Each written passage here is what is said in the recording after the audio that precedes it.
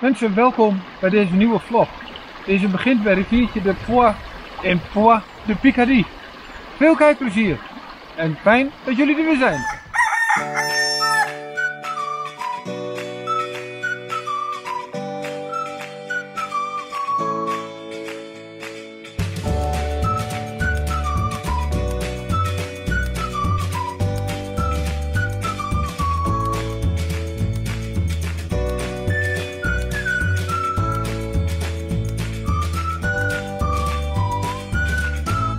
We zijn op weg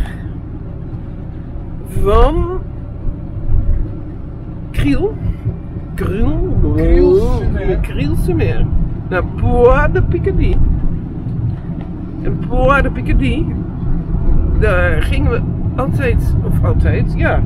Het was eigenlijk wel een overnachtingsplek altijd als we in Normandië Bretagne waren geweest.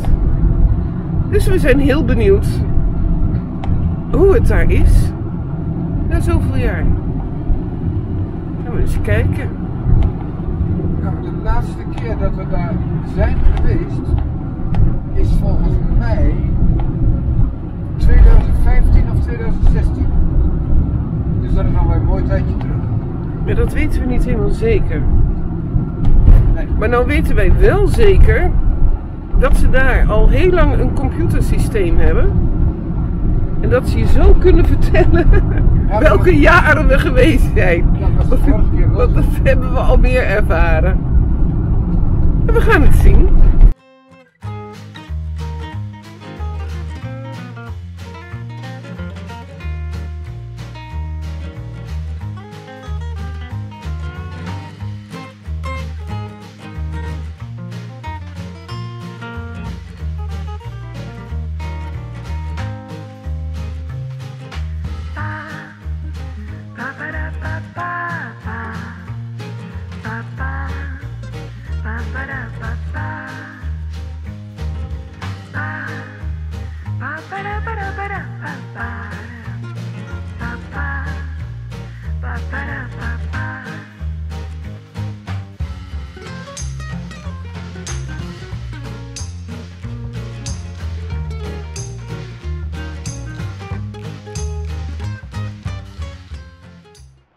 Goedemorgen, zaterdagochtend 28 mei.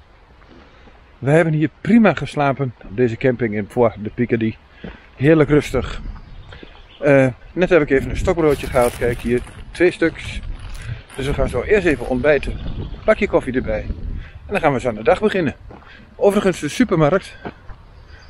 Kijk, hier is de camping achter mij. En daar bij het witte gebouw, aan het eind van deze weg, daar is de supermarkt. Alles bij elkaar. Nou, 200 meter lopen, dan is het wel ver. Hoe mooi kun je als plaats zijnde of gemeente zijnde je naam in het groen weergeven? Kijk eens.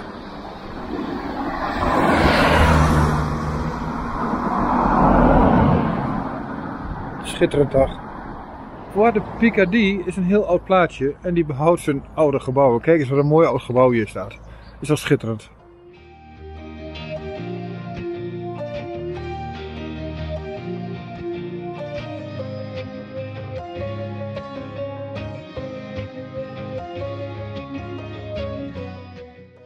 Op weg naar het kasteel, wat een mooie route is overigens, komen we dit veld tegen. Kijk eens, van dichtbij zal ik het even laten zien. En wij wisten zo 1, 2, 3 niet wat voor plant dit is. En laten wij nou Google Lens op de telefoon hebben. En die zegt dat het is koolzaad. Dus dit hele veld, Dat is over een tijdje helemaal geel. ja, dat, dat is nou straks zo'n heel geel veld. Zo'n prachtig mooi geel veld.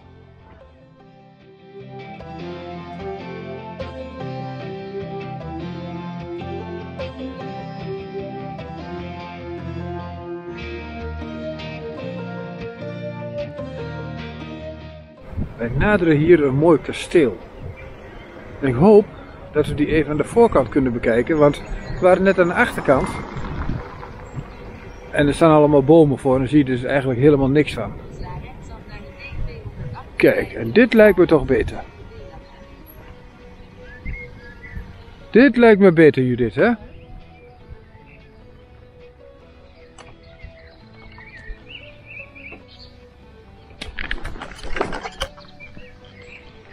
Viel ik toch bijna van de fiets af.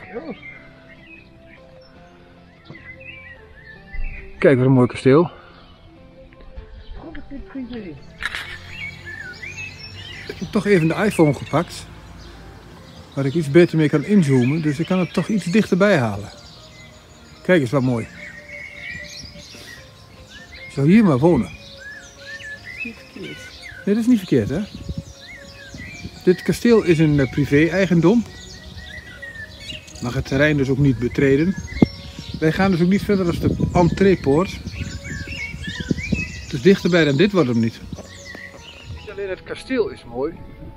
Maar vroeger zag je dus ook dat er vaak wel enige bebouwing rondom zo'n kasteel is. En dat is het hier ook. Er staan huisjes omheen.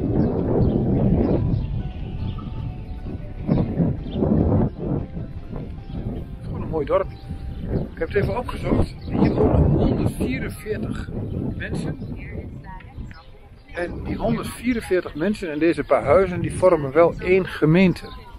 Moet je eens voorstellen, ken je dat in Nederland een gemeente met 144 inwoners?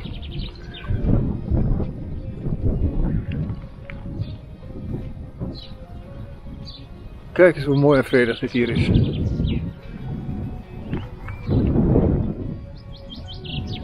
Dit gaat het einde worden van het dorpje. Gaan we hier even draaien. Op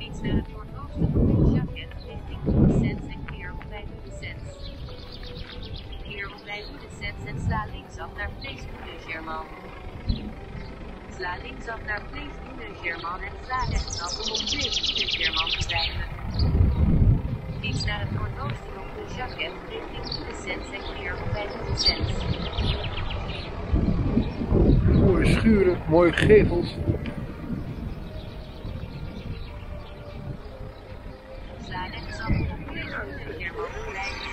Waar langs? naar de D258. Sla linksaf naar de D258 en sla rechtsaf naar de D-latte.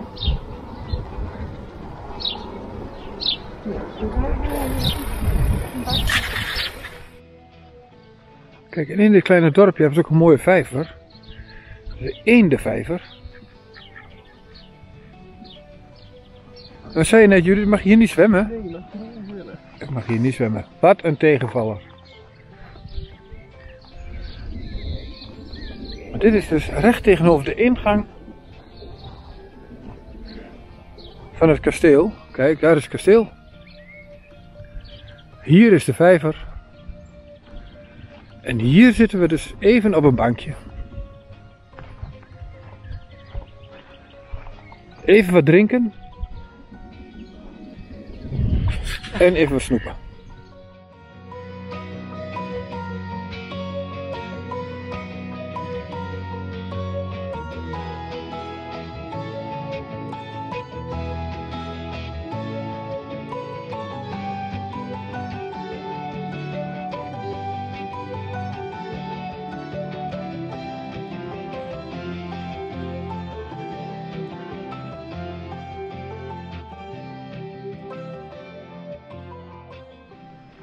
Zijn hier aangekomen bij een viaduct. Nou mensen, kijk eens hoe hoog die viaduct. Er gaat een spoorlijn overheen. Prachtig mooi bouwwerk. Met allemaal bogen.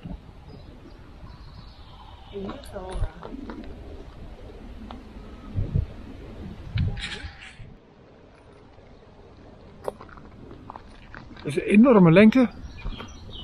En dadelijk eens proberen om aan de andere kant eh, te komen. Of we hem helemaal in beeld kunnen krijgen. Kijk, hier is het deel wat zichtbaar is. Wat ik eigenlijk in beeld wilde brengen, dat lukt niet.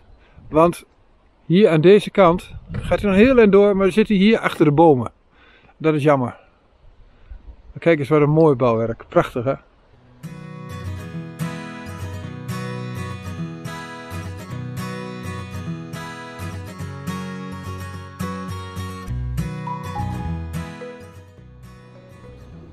En het bestaan van deze viaduct, dat wisten wij omdat we vroeger al eens een paar keer hier in deze plaats zijn geweest.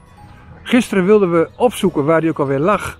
Maar de plaats voor de Picardie maakt niet bepaald reclame voor, de, voor het bezoeken van deze prachtige mooie bouwwerk. Uiteindelijk hebben we hem gevonden. En dat geldt ook voor degene die in de toekomst dit wil gaan bekijken. Zoek naar de weg Reu de Viaduc. Dus Reu de Viaduc in Poix de Picardie. En dan kom je hier. Goedemorgen mensen. Kijk eens. Zondagochtend. 29 mei. We zijn op het marktje. Voor de Picardie.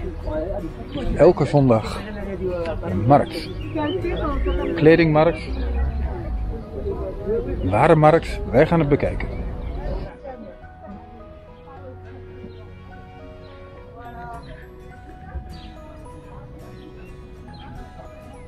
De schoenen in ieder geval genoeg.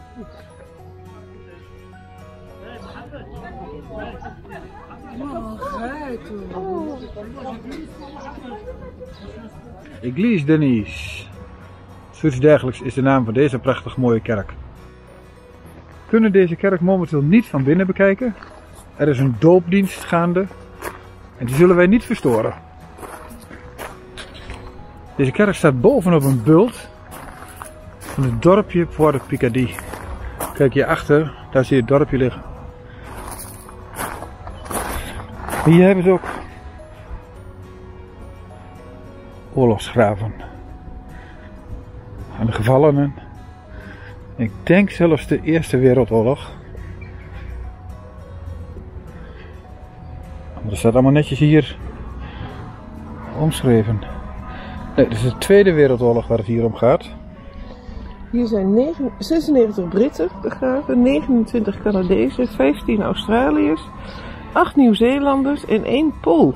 Oké.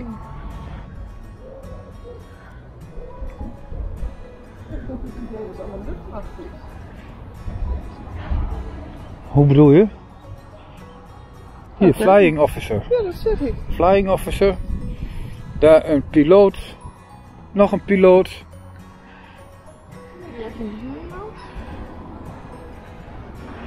Royal Air Force. Ja, inderdaad. Allemaal luchtmachtpiloten.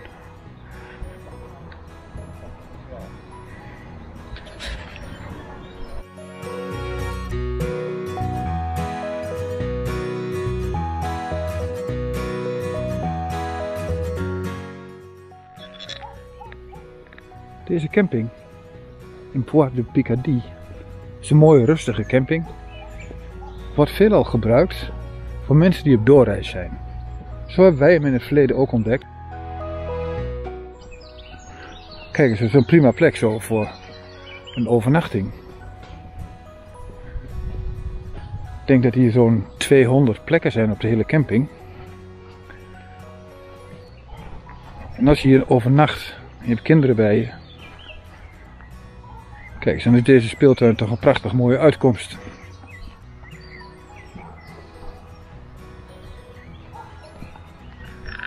Centraal op dit terrein is dit gebouw. Dat is het toiletgebouw. Sanitaire voorzieningen. Douches, toiletten, afwassen. Alles kan daar. Het is allemaal een beetje gedateerd, maar het functioneert goed. En nog belangrijker, het is super schoon.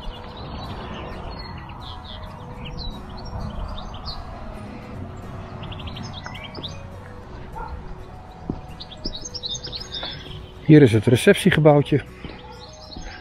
Daar zit een mevrouwtje, ik denk al wel 25, 30 jaar dezelfde.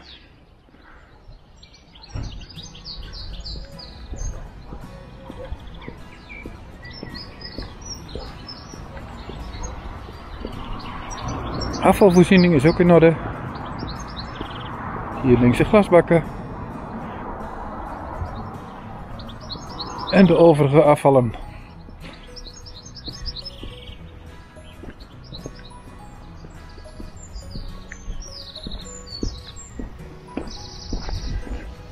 Alle plekken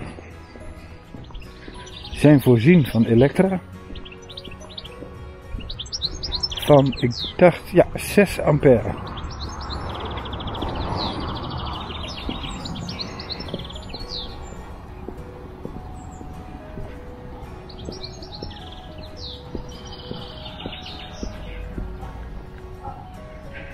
Kijk, en daar staat onze camper. We zijn hier vrijdag aangekomen. Het is nu zondag. Dus we hebben hier nu twee nachten gestaan. En ik denk weet het eigenlijk wel zeker, dat we daar het boeltje inpakken. Sterker nog, Judith is er al mee bezig. Judith, gaan we de camping verlaten? Ja? Ja, dan sluiten we ook gelijk deze vlog maar even af, hè? Dat is heel... Doei! Doei! Ja. Mensen, bedankt voor het kijken. Wij gaan naar de volgende plek. Dat zie je weer in de volgende vlog. Ik zeg tot de volgende keer. Duimpje omhoog, belletje en abonneren. Dat vinden wij leuk. Doei!